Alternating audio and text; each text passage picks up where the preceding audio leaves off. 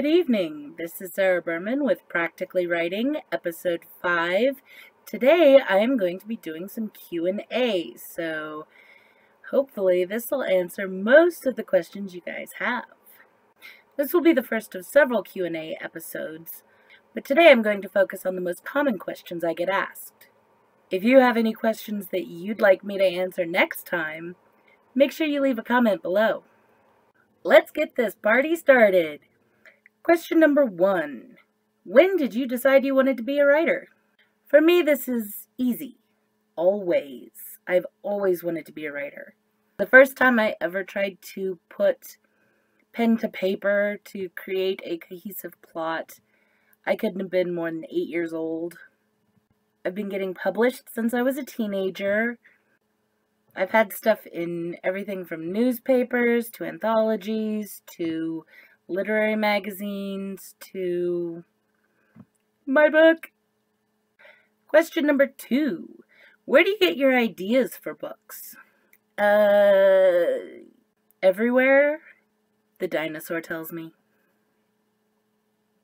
Seriously, though, all kinds of places. I have story ideas that came to me from, you know, things that I've seen on TV and in movies, things that I've read, dreams that I've had, even things that people have done that, you know, I just noticed. I, I'd say that the better question is how do you know when an idea is going to be a good book? And the best way to answer that is does it get you excited? I love so many of my story ideas. And those are the ones that are going to get turned into books really fast. The other ones, you know, there's something there. Something may come of it. But not really quickly. It's about the passion that you put into the story, and the things that get you excited are going to translate well into a story that excites other people. Question number three What do you do when you're not writing? I don't understand the question. Honestly, I spend most of my time writing or marketing my writing or researching the marketing for my writing or researching things for my writing. I'm not on Facebook. What are you talking about? Or pretending that I should be writing.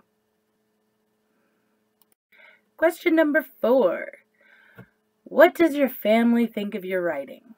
This one's a hard one because so many writers have families that are less than supportive of their writing. I'm actually really, really lucky. My husband is 100% behind me, like all the time. I tell him that I'm writing, and he's like, okay, I'll take care of the kids. I tell him that I wish I was writing, and he's like, okay, I'll take care of supper. I tell him that I'm only pretending to be writing, and he's like, hey, sometimes you gotta play Minesweeper. I love him. My kids are a little young yet to really understand the nuances of the writing life, so they hardly count. My parents are supportive, but I don't think that they really understand the reason that people do things like writing. They're they're very practical, down to earth people. So, you know, to them a job is a job is a job is a job and you go there and you work and you make money. And, you know, whether you enjoy it is kind of secondary. The idea that people do these things that they love, then try to make money off of that is kind of yeah they they they don't really get it but they try to be supportive and so yay question number five what do you find is the most difficult part of writing mostly it's the fact that i am the only person who determines if i'm going to be writing right now if i'm going to be doing something else right now there's no external driving force. That can be both extremely freeing and extremely.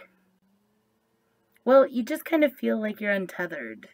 Like you're throwing things at the wall and trying to figure out what's going to stick, and it can become very directionless very quickly.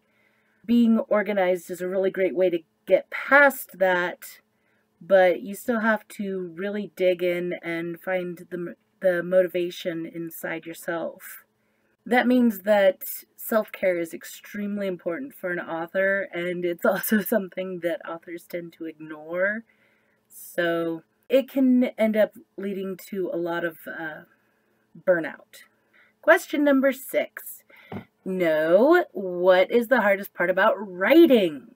Oh, plotting for me. It's hands down plotting. I really have no difficulty getting dialogue out. I have no difficulty doing descriptions. Um, I'm actually a pretty concise and Spartan writer, so I tend to I I like things to happen in kind of like little compact sound bites and getting a plot down for a larger piece is pretty much an absolute necessity if I'm going to get it done. Otherwise, I just write a whole series of really cool little scenes that don't do anything and they don't go anywhere and nobody wants to read that. Plotting was the the biggest hurdle that I had to go over. And I'm not good at hurdles. Number 7. Overwriter or underwriter? Well, like I said before, I'm a pretty concise writer. I am definitely an underwriter. I get the bare bones out and then look for ways to expand my plots and subplots into a more boisterous, curvaceous novel. Question number eight. Plotter or pantser? Definitely plotter. I gotta have direction. I gotta. I am a writer who needs a GPS, and it doesn't matter if I map it out myself. Wait, I do. I have to have a direction to go in. Otherwise, I just kind of fumble around and it's just a hot mess. So, there you go. Plotter. I do think it's important to understand that some people are pantsers and some people are plotters and some people kind of do this like sort of half and half thing. Uh, I I personally do, I think that pantsing and plotting are a spectrum, not an either or thing.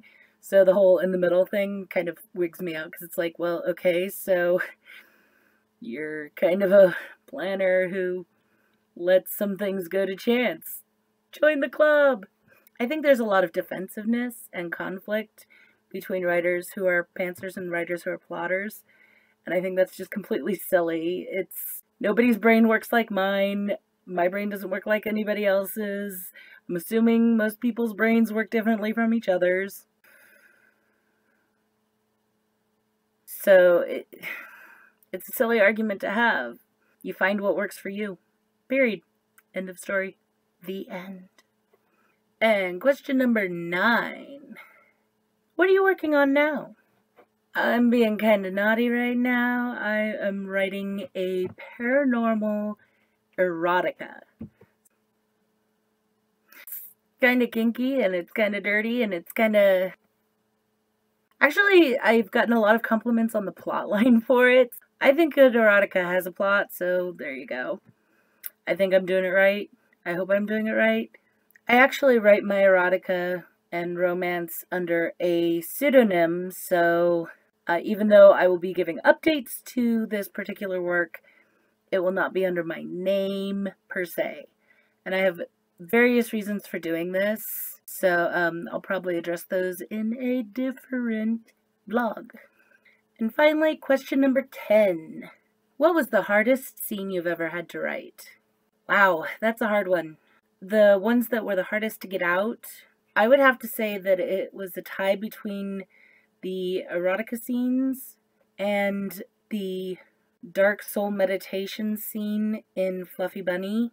The erotica scenes are difficult because, telling you right now, if you plan on writing erotica and you're not sure how to get yourself into, you know, writing those scenes, don't worry about it. I mean, the thing is, you feel like a moron the entire time.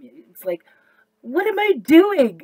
you're trying really hard to use all the right terms and they feel foolish and you just you feel like an idiot the entire time i guarantee it write it anyways people love reading that stuff the dark soul meditation that was really hard because that's one of the things that has been very central to my personal spiritual journey and I've actually done that particular meditation on several occasions. I've even taught workshops on how to do this meditation. It's hard every single time. I, I cannot explain how hard it is to face all of the things that you hate about yourself and the things that are less than perfect and the things that are what you see as failures and what you see as flaws. And in order to really nail down Nicola's experience, I really had to dig into my own personal experience of doing that meditation. And to this day, I cannot read that scene even in editing for any reason whatsoever without crying. So it was emotionally harsh. These are the sacrifices that an author makes for the audience. I'm broken. You should appreciate it. Well, I think that'll be it for this week's episode. Uh, don't forget to find me on Facebook, Sarah Buhrman Author, or you can also find updates to all of my work on the Rune Spells series fan page. You can follow me on Twitter, Author Goddess. You can follow my blog, Author Goddess. You can check out my website, Author Goddess. Try to be consistent. And don't forget to pick up your copy of Too Wyrd. It is available on Amazon and Barnes & Noble in paperback and ebook formats. Remember to hit the thumbs up below and check out the links in the description. We'll see you next time. I'm coming out, so you gotta get this party started. I'm a procrastinator. I love him.